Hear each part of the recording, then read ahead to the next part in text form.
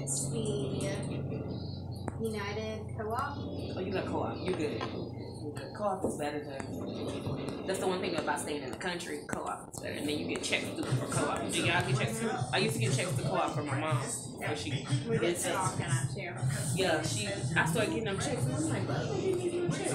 It's for the co-op, but it's just too hmm. hard. That stuff is so crazy right now. I just be looking like, ooh, and then the house note just went up, and I just like, I'm, I am at this time. I'm at the place where I'm looking to sell the house.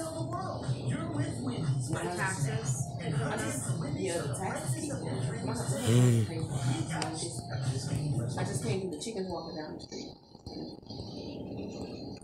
Seventh generation laundry detergent tackles sixty? Oh.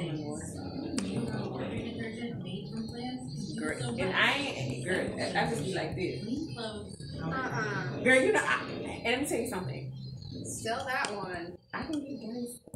I've never lived to do it. Can I've never lived to do it. Even when go, I'd be like, I Hmm. can tolerate it, but I really it. I can't do. But it's over there, I'll be like.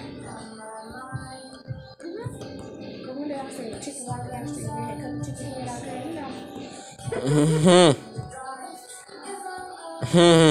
It's like you got your- I was just like, you can only imagine what I was looking like, right? And I was like, this. He said, we can stay here. And I'm looking at him like,